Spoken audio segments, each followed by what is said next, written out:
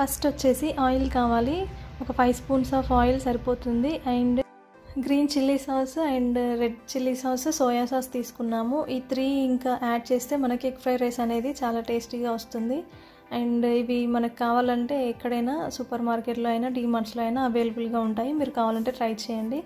And ఇది గరం మసాలా అంటే మనకి బగారా మసాలాలు ఉంటాయి కదా అవన్నీ మిక్స్ చేసింది అనమాట అది కావాలి వన్ టీ స్పూన్. అండ్ ఇక్కడ కారం అండ్ తగినంత సాల్ట్ కావాలి. అండ్ ఇక్కడ కొన్ని క్యాబేజెస్ ముక్కలు ఇలా కట్ చేసి పెట్టుకున్నాము. ఆనియన్స్ ఇంకా green chilli and curry leaves ఇక్కడ రైస్ ఏమో ముందే ప్రిపేర్ చేసి పెట్టుకున్నాం అనమాట సో కొంచెం కారం అండ్ సాల్ట్ యాడ్ చేసాము అందులో. అండ్ ఇక్కడ ఫోర్ ఎగ్స్ తీసుకున్నాము. సో హాఫ్ కేజీ రైస్కి ఫోర్ ఎగ్స్ కావాలి. So half tea spoon pepper కూడా కావాలి. అండ్ ఇప్పుడు ప్రిపరేషన్ ఎలానో చూసేద్దాం. స్టవ్ వెలిగించి ఒక బాండీ పెట్టేసుకొని అందులో ఆయిల్ వేసేసుకోవాలి. ఇక్కడ five spoons of oil add చేస్తున్నాము. హాఫ్ కేజీ రైస్కి ఫైవ్ స్పూన్స్ సరి సరిపోతుంది. మీరు కావాలంటే మీరు క్వాంటిటీని బట్టి యాడ్ చేసుకోండి. ఆయిల్ హీట్ అయ్యే వరకు ఇలా ఎగ్స్ని ఒక బౌల్లో మిక్స్ చేసుకొని వేసేసుకోవాలి. అలా వేసుకోవడం వల్ల ఎగ్ అనేది ఈవెన్గా స్ప్రెడ్ అవుతుంది. చూసారు కదా? సో అలా స్ప్రెడ్ అయ్యాక దాంట్లోకి కొంచెం సాల్ట్ వేసుకోవాలి. అండ్ ఎగ్ని ఇలా టర్న్ చేస్తూ ఫ్రై చేసుకోవాలన్నమాట. సో అప్పుడే మనకి ఎగ్ అనేది ఈవెన్గా ఫ్రై అవుతుంది అండ్ టేస్టీగా కూడా ఉంటుంది. సో ఇలా పీసెస్గా అన్నీ డివైడ్ అయ్యేంత వరకు కలుపుకోవాలి. సో ఇలా కలిపేసుకున్నాక దాంట్లోకి half tea spoon pepper add చేయాలి.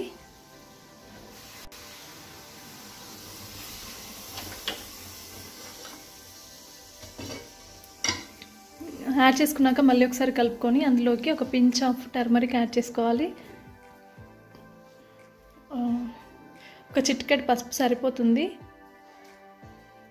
సో వీటన్నిటిని ఇప్పుడు లైట్ బ్రౌన్ కలర్ వచ్చేంత వరకు ఫ్రై చేసుకోవాలి. చూడండి చూపిస్తాను. సో చూసారు కదా కొంచెం లైట్ బ్రౌన్ కలర్లో అయిపోయింది.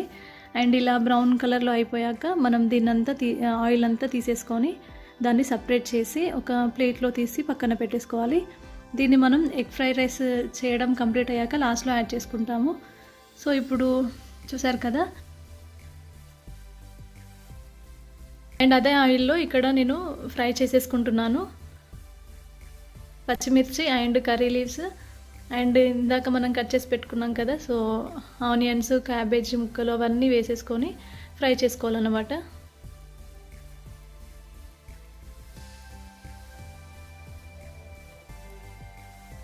ఇవి కొంచెం ఫ్రై అయితే సరిపోతుంది. అంటే డీప్ ఫ్రైలా కాకుండా అండ్ నార్మల్గా ఫ్రై చేసుకుంటే సరిపోతుంది. అండ్ కొంచెం సాల్ట్ యాడ్ చేస్తే తొందరగా ఫ్రై అవుతుంది. సో చూసారు కదా కొంచెం ఫ్రై అయితే సరిపోతుంది. ఎగ్ ఫ్రై రోస్లోకి ఇలా ఉంటేనే బాగుంటుంది అనమాట సో దాంట్లోకి మళ్ళీ ఎగ్స్ని ఇలా మిక్స్ చేసేసుకొని వేసుకోవాలి. ఒక సైడ్కి వేసుకుంటే మనకి ఎగ్ అనేది సపరేట్గా బాయిల్ అవుతుంది. అంటే ఫ్రై అవుతుంది. సో ఇలా కొంచెం అలా ఫ్రై చేసుకొని మొత్తం మిక్స్ చేసుకొని మళ్ళీ కలిసి మొత్తాన్ని కలిపేసుకోవాలన్నమాట.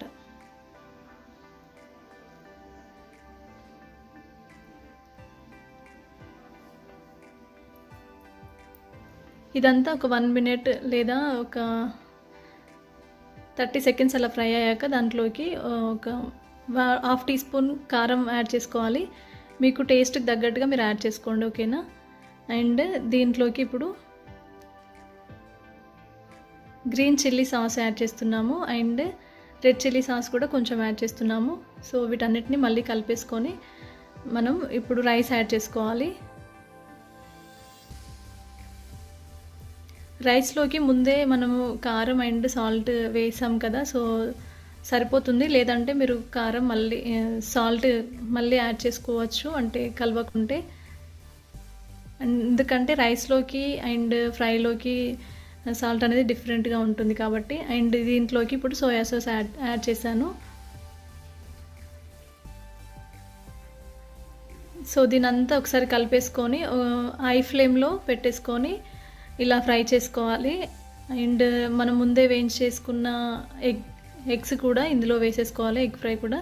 లాస్ట్లో మనం ఆనియన్స్ అండ్ కొత్తిమీర వేసి ఇట్లా గార్నిష్ చేసి ఒక ఫైవ్ మినిట్స్ మనం ఇంకా హీట్ చేసుకుంటే మనకి ఎగ్ ఫ్రై రైస్ రెడీ అయిపోతుంది. మీరు కూడా తప్పకుండా ట్రై చేయండి. ఓకేనా బాయ్ అండ్ అదే